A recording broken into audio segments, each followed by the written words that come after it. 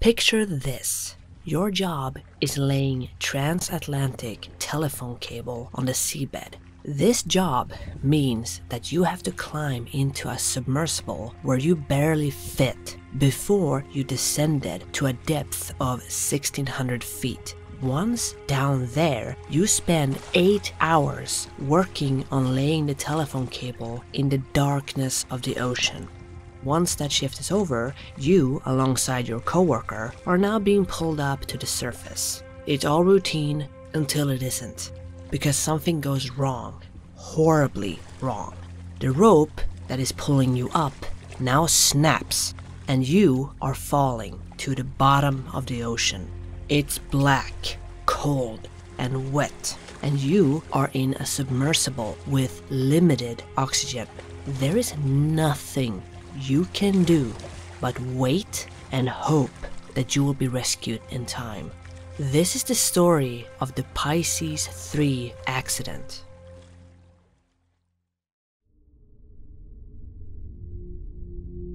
Built by HYCO International Hydrodynamics of North Vancouver in British Columbia, Canada, the Pisces class submersibles are three person research deep submergence vehicles. They had an operating depth of 2,000 meters, which is roughly 6,500 feet. The submersibles have multiple viewports and sample collecting, environmental sensing, and instrument placement capabilities. The Pisces submersibles were representative of crude submersibles that were built in the late 1960s and became workhorses in offshore exploration and oceanographic research.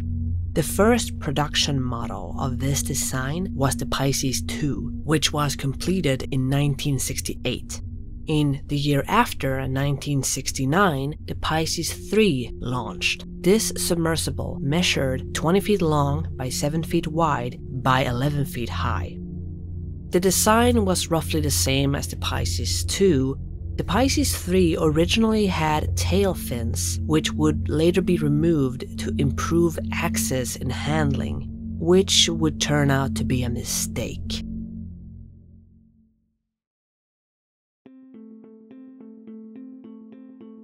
During the early hours of the 29th of August 1973, the pilots Roger Chapman and engineer and senior pilot Roger Mallison commenced a routine dive they were working on laying transatlantic telephone cable on the seabed 150 miles southwest of Cork, Ireland.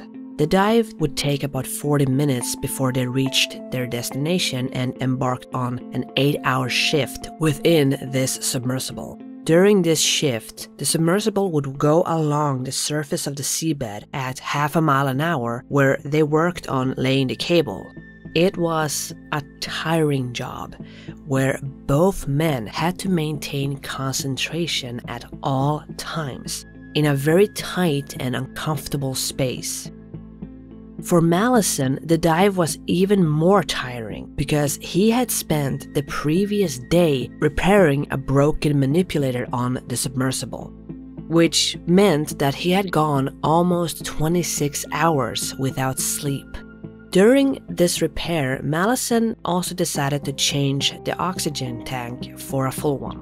There was nothing wrong with the previous tank, but Mallison figured that as he was already working on submersible, he might as well just change the tank as well. This will be important later. Shortly after 9 am, Mallison and Chapman had just completed another shift and was about to be lifted back onto the mothership when there was suddenly a water alarm. The reason for the alarms was that the tow line which was lifting the submersible had gotten tangled and wrenched the hatch open. This part of the submersible was a self-contained part of the submersible, which contained machinery and oil storage.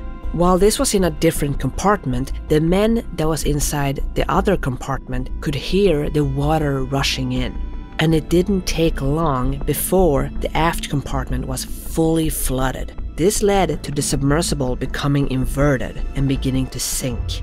For the men inside, this all happened very fast. One minute they were waiting for a tow line to be attached to lift them and then take them back to the mothership. The next, they were hurtled backwards and then sinking rapidly. The submersible kept sinking until it reached 175 feet, which was the maximum length of the nylon tow line. Now they found themselves suspended by the tow line and could feel the submersible swinging about in the sea currents. But then the rope snapped. Now they were free falling to the bottom. Thinking quickly, the pilots shut off all of the electrical systems, which left the sub in total darkness. During the descent, they also dropped a lead weight to make the sub lighter as they descended. They then quickly moved to grab cushions and curling themselves up as much as they could to try and brace for impact. They also grabbed some cloth that they placed in their mouths to avoid biting their tongues off when the sub slammed into the bottom at around 9:30 a.m. Fortunately for Mallison and Chapman, they were still in contact with the ship above. So at around 9:45 a.m., they made telephone contact with the ship and let the crew know that they were both fine, morale was still good, and they were getting organized. This meant that Mallison and Chapman spent the first few hours rearranging everything in the sub as it was almost upside down at this point. They mended as much as they could and they made sure that there were no leaks. They also knew that they had to preserve as much oxygen as they possibly could. And they did this by moving as little as possible, not even speaking to each other. After thoroughly checking everything, they now knew that there was nothing immediate that they had to deal with. They climbed as high up in the sub as they possibly could and got as comfortable as they possibly could. Again, they knew that they had to preserve as much oxygen as possible, so they remained still and didn't speak to each other. But they would grab the other's hand, giving it a squeeze to let the other man know that they were still there and they were still alright. The oxygen tank had a capacity to last approximately 72 hours. But after an 8 day shift, there was 64 to 63 hours remaining. No lights were on, they had been using flashlights to check everything in the sub, so it was completely dark. It was cold, and all they could do at this point was wait. On the surface, the rescue effort was already well on the way. A support ship, Vickers Venturer, which at the time was in the North Sea, was ordered to return to the nearest port with the other submersible Pisces II at around 10:35 a.m. News would spread that this had happened, which meant that more ships started moving to the location to offer assistance. For instance, the Royal Navy survey vessel HMS Hecate came to help with special ropes at around 1209. The United States Navy would offer a submersible belonging to the US Salvage Department, which is called the CURV 3, which was designed to pick up bombs from the sea. And the Canadian Coast Guard ship John Cabot would immediately leave from Swansea and a maritime patrol aircraft known as the RAF Nimrod would also fly overhead. The Pisces II and the Pisces V had been picked up by aircraft and arrived overnight in Cork. So the mothership Vickers Voyager immediately headed to Cork to load the submersibles onto the ship. The ship arrived at around 8 and then left Cork at around 10:30 and would arrive back at the scene on Friday, the 31st of August at around 2 a.m. While all of this was going on on the surface, the men in the submersible had almost run out of supplies, and at this point they were lethargic and drowsy due to the buildup of the carbon dioxide in the air, which was something that they had done intentionally to conserve as much oxygen as they possibly could. Chapman and Mallison were fortunately still able to communicate with the ship on the surface. But the more time that passed and they were stuck in the submersible with nothing happening, the more the doubts started creeping up. Both men found themselves thinking more and more about their families. Roger Chapman had recently gotten married and he spent his time thinking about his wife. Roger Mallison had a wife as well as four young children, and he would find himself getting distressed thinking about his children. But the two men would spend this time looking out for each other, making sure that the other was okay, which Mallison would later credit as a big reason for why they survived. At this point, they still had to keep calm and wait. Now there was a bit of a problem on the surface. The Pisces 2 was launched with a polypropylene rope attached, but this broke free of the manipulator arm, and the submersible was forced to return to the surface to be repaired. They also had to locate the Pisces 3, as they weren't sure where the submersible was at that point. So Pisces 5 was sent down with a polypropylene line attached to a toggle to try to locate the crashed submersible. The Pisces 5 would only return to the surface after it had almost depleted its entire power supply. The Pisces 5 would launch a second time. This time, they were successful. At around 12:44 p.m., the Pisces 5 would locate the Pisces 3, and the sight of this submersible gave renewed hope to the trapped crew. On the surface, they then tried to launch Pisces 2, but the submersible sprung a leak, so they had to abort that attempt. They also planned to launch the CURV 3, but that submersible had suffered an electrical fault, which kept it from launching. Down at the bottom, Pisces 5 was trying to attach a snap hook to the other submersible, but this failed. However, even though this attempt failed, the Pisces 5 remained with the down submersible until it was ordered to return to the surface, which was just after midnight. The Pisces 5 leaving meant that the crew was alone in complete darkness once again. And by now, despite the men's best efforts to conserve as much oxygen as possible, it was running out. They were also running out of lithium hydroxide, which was used to scrub the carbon dioxide from the deteriorating atmosphere in the submersible. Both men were now freezing, soaked completely through, and also suffering from severe headaches. But one of the only things that managed to keep the men's spirits up was dolphins. They had seen the dolphins before while working, but they obviously couldn't see them now in complete darkness but they could hear them on the underwater telephone. They were able to hear the dolphins the entire time they were down there.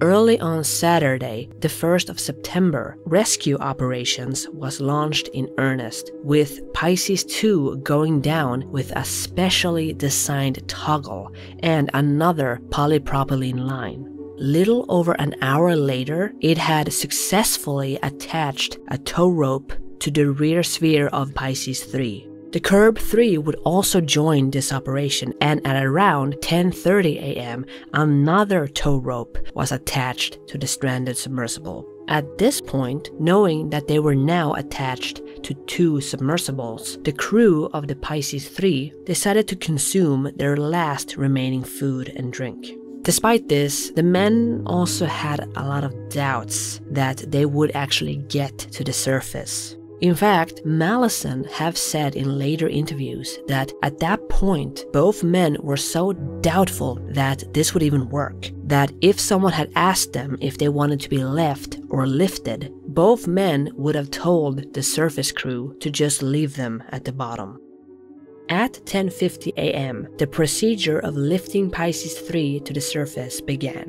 As soon as it got off the seabed, it was a bumpy ride which further disoriented the men inside the sub. In fact, during the ride up, the submersible was constantly trashing about, which led to the lift being stopped twice. The first was when they had reached a depth of 350 feet because the CURV 3 needed to be disentangled.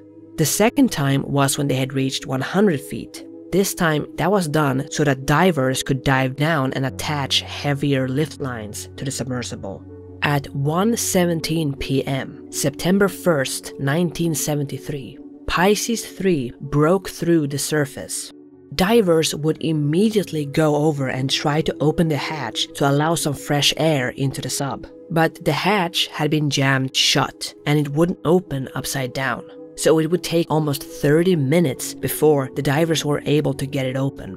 When the hatch opened, the combination of fresh air and sunlight would give Mallison and Chapman blinding headaches. They also would struggle to get out of the submersible after having been confined inside this tight space for such a long time. But none of that mattered. They were absolutely elated that they had been rescued. All in all, the men had been inside the submersible a total of 84 hours and 30 minutes. When they checked the oxygen supply, they realized that they only had 12 minutes of oxygen left meaning that the rescue of Chapman and Mallison was literally in the nick of time. Only 15 minutes later, and this would have been a very different story.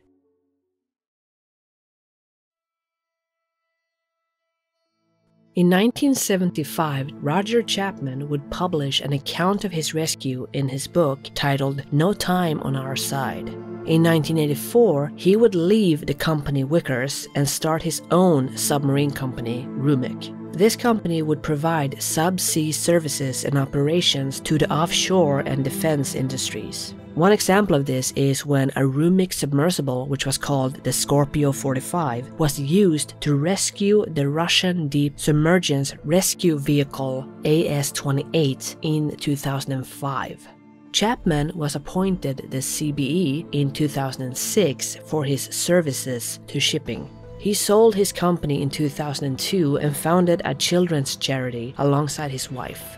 Roger Mallison would continue on working for the same company in submersibles until 1978. After that, he would become involved in restoring steam engines and earned a Lifetime Achievement Award from Prince Michael of Kent for his involvement with the Shamrock Trust in Windermere 2013. Chapman and Mallison would keep in touch over the years and they would meet up every year. Roger Chapman passed away from cancer in 2020 at the age of 74. In 2023, while searches for the submersible known as Titan was still underway, the then 85 year old Roger Mallison was interviewed about the incident, where he expressed concern that there was a lack of any kind of signal, and he felt that this meant that something horrible must have happened which, with hindsight, we know is true. The submersible known as Titan would implode on the 18th of June 2023.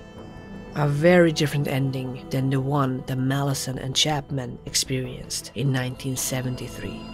Titan and OceanGate has been heavily criticized for many of the decisions they made regarding the submersible. Some criticism has been labeled at the company Vickers Oceanics, which owned the Pisces 3. As I mentioned in the beginning, the Pisces 3 originally had tail fins, which was removed to improve access and handling. After the accident, many theorized that if the submersible still had those tail fins, they might have prevented the entanglement of the tone line, which is what ended up causing the accident in the first place. It's nowhere near the cut corners of OceanGate and Titan, but it's still something to think about. One simple decision may have been the thing that could have prevented the entire accident in the first place. But this is just speculation, as we will never know. What we do know, though, is that this story did have a good ending. What I found myself stuck on is only 12 minutes of oxygen remaining. There really was no room for error at that point. It's an amazing story. And to this day, the rescue of Roger Mallison and Roger Chapman still holds the record for the deepest sea rescue in history.